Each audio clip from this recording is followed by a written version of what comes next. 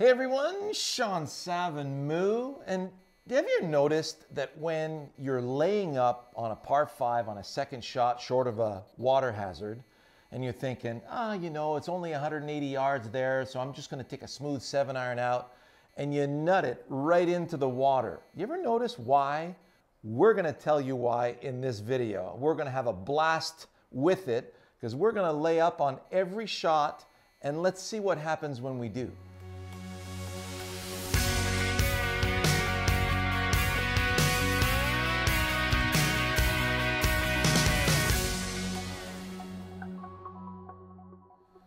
So here we are at Pebble Beach, hole number one. Awesome little hole, 232 yards. That's normally my three iron. So what I'm gonna do is I'm gonna go ahead and try to hit this just 175 yards with a full swing. And I'll get whatever distance I get. So full backswing, full finish, full task.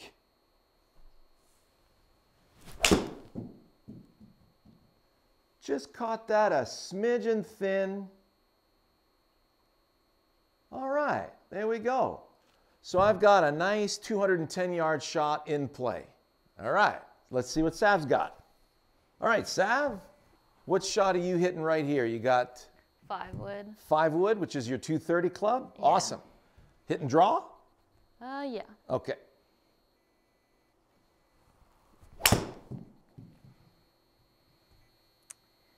Mulligan that. I feel like when I try to ease off, Yeah. everything just falls apart. Well, okay, so that's that's an important observation here. So notice many of you who are going to try this, when you're easing off, you don't want to feel like you're steering or placing the shot. It has to be full range of motion mm-hmm. and full kinetic chain engagement. You know what that feels like, right? Yeah. So it means that, hey, it's going to be a full crack at it. But if I say to you, hey, we're only going to hit this five wood 175 yards, mm. you're going to go, well, in my sleep. Mm. Because if I get my normal swing in there, it's, it's going to go like stink, right? Yeah. So let's see a full normal swing that feels very easy to execute.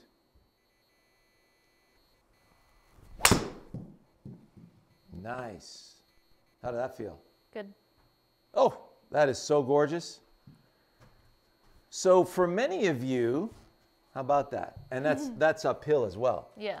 So for many of you, when you're thinking I'm going to lay up, you know, my 230 club to 175, um, you'll feel the need to stick handle it or steer it. We don't want that. We don't want to decelerate. We don't want to manipulate. Okay. What we want is a full range of motion in the direction we want to start the ball. So peak speed is still out here. You're still releasing through it. Mm-hmm. You, you did a great job. Let's see what Moo got. So Moo, what club do you have for 230? I have a six iron here. So kind of Sav, right? Kind of like don't understand this man It's anymore, unfathomable. right? So he's outgrowing us. All right, so let's see it move.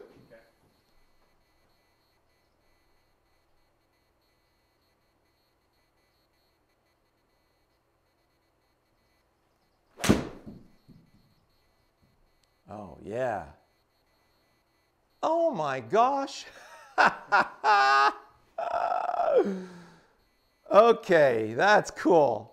That is funny because the other morning I was asking Moo, I said, Moo, what's the, the, the absolute lowest distance or the lowest ball, uh, club head speed that you can swing with, um, you know, when, when you're full swing, full range of motion? And he's, he goes, 130 miles an hour. I'm going, oh my God. So it starts at 130 miles an hour with this man right here. So that was really good. So I'm up next. yeah. I've got 160 yards left to the pin. So normally 160, and this is uphill. So uh, this would be about 170, and I got to play a fade. So I'm going to go ahead and, uh, so 170 uphill with a fade, that would be seven iron for me. So I'm going to play a smooth seven iron.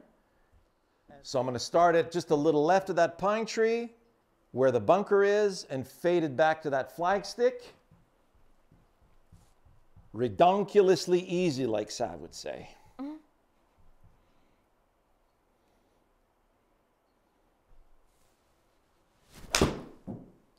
Oh, man, that felt so good. I just let it go. Sit. Wow.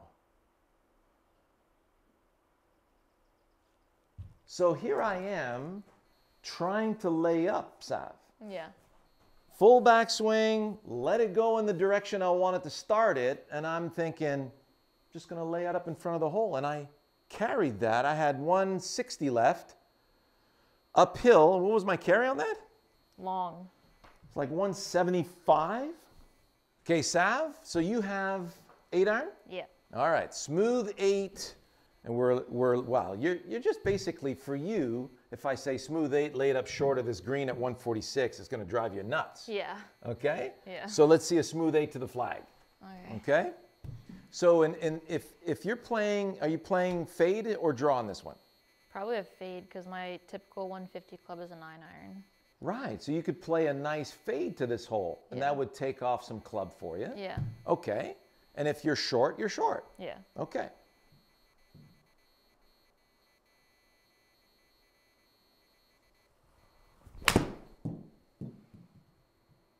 Good miss.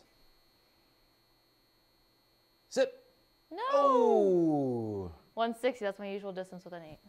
Isn't that something? Yeah. So your carry on that was 147. That's uphill, which is basically, you know, it's one club less. That's crazy. So Moo, you got 140 left. So Moo is going to go with a gap wedge with a little fade, and his gap wedge is usually his 150 club.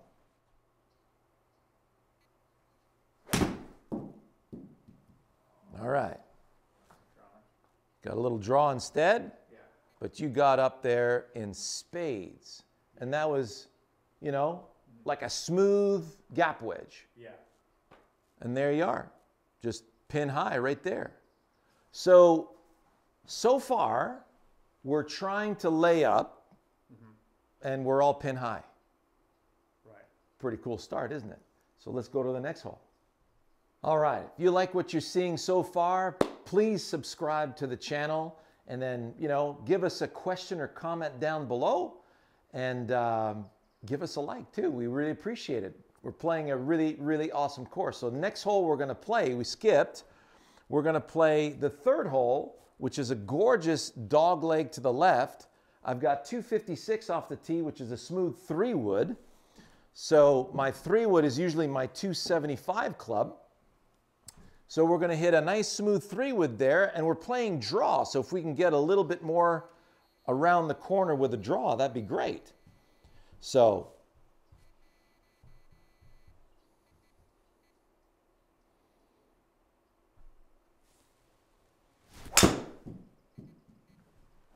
That's drawn. come on, draw some more. Oh my gosh, it's way too much.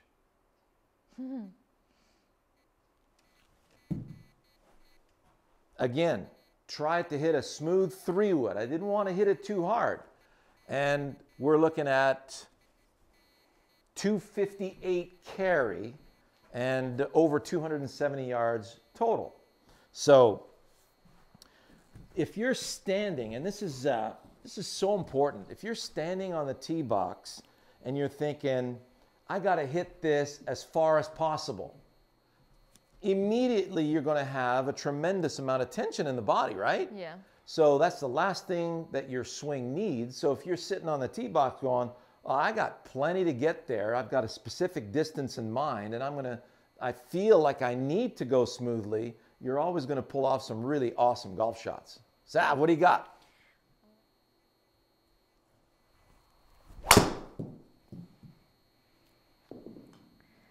Savannah's got driver fade. Oh my gosh. Look at that. That's crazy. It's just a smidge downhill, but you still ca- it. you carry that 271. You see how silky smooth that swing was? That was incredibly smooth. Moo, what club do you have, man? I'm gonna go with four iron here. Um, Sav, would you like to see Moo cut the corner here? Well, I'm Oh, gonna no, just he's go gonna straight. do it anyways. There's a lot of room out there, Moo. I mean, it's a perfect, perfect hole for you to cut the corner. Um, if you want to try that, let's do two. We're going to hit the four iron to 250 because that's always fun to watch. Yeah. And then and then I want to see you hit the driver on this hole. Okay.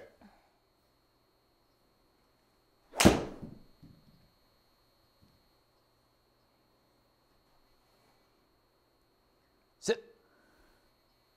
Sit. All right. What's the distance on that? 265. That's not fair. Yeah. All right. So I lined Moo up right at the flagstick. It's going right over the corner of the trees right here. And uh, looks like you need 280 to get to the fairway on that line right there, Moo. Yeah. That's all right. Light work.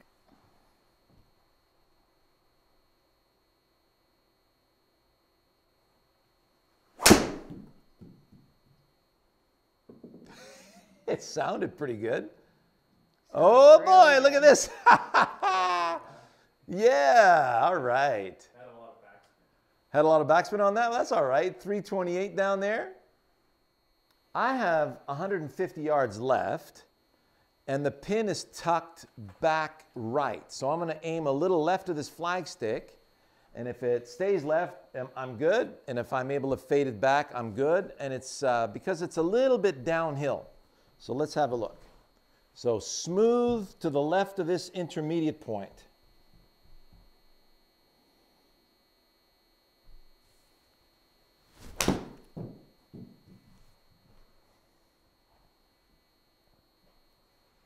See ya.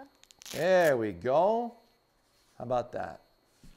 So Sav is hitting wedge in there. What's what's uh, I'm gonna hit a gap wedge. so you're hitting gap wedge, which would normally be your normal distance here. Yeah.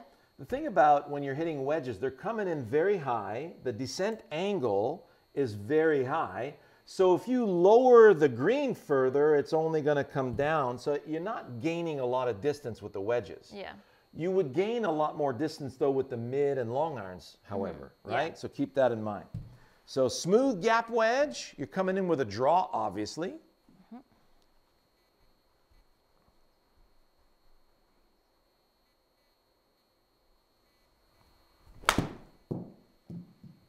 Very nice.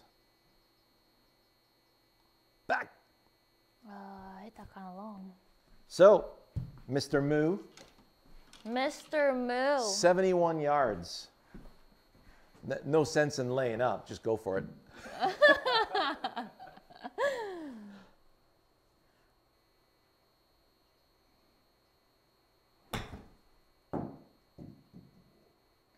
The thing with Moo and his wedges Mm-hmm.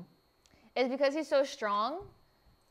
He he his swing breaks down with the Okay. chippy wedges. So, did you feel, uh, do you typically feel at this distance, Moo, Yeah. that you decelerate? Yeah, because You, you kind of, right? Yeah, because I'm I'm too too scared that I'm gonna hit too long. So Yeah. this happens to a lot of you out there, right? Yeah. So the key here is to Goldilocks the backswing you need to hit this shot, Yeah. but to feel like you're always accelerating. Okay. So when you always accelerate, a really easy task for that is this is a dandelion in disguise. Yeah. You're cutting through the dandelion, of course, at all, you know, so you're always moving through the ball. Yeah. So show me a, pr- a practice swing where the backswing would be way too short. So right now, if you take it back that far, Yeah. you'd have to shove on it. Yeah, I do. Show me a backswing to be way too long where you feel the need to decelerate. Right? Yeah. Show me one in between where you feel like you're going to have to accelerate through the stem. How'd that feel? That one was the. That, that was the one. So it felt like a gentle acceleration through the stem. Yeah. There you go.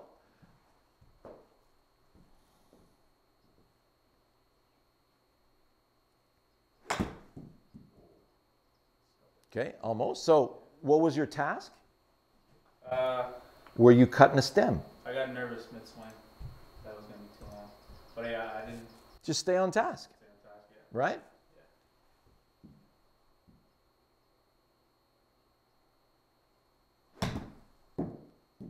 There it is. That was pretty. Nice shot. Okay? Yeah. So if you're worried about hitting it long, Yeah. then you're thinking about something you don't want. You're going to get tense. Yeah. Can't swing from there. No, you can't. But notice when the second shot, I said, just stay on your task. You're cutting the stem. Yeah. And then I heard that nice friction with the sole of the club to the grass. Yeah. And the ball met the face beautifully. And look at that golf shot. Yeah. That's awesome. So we highly recommend that you get out there in one of your practice rounds, go out and play a few holes, lay up to the front of the green, but with the club that you would normally use to get to the flagstick. Yeah. You'll get to the flagstick. Enjoy that. See you next week.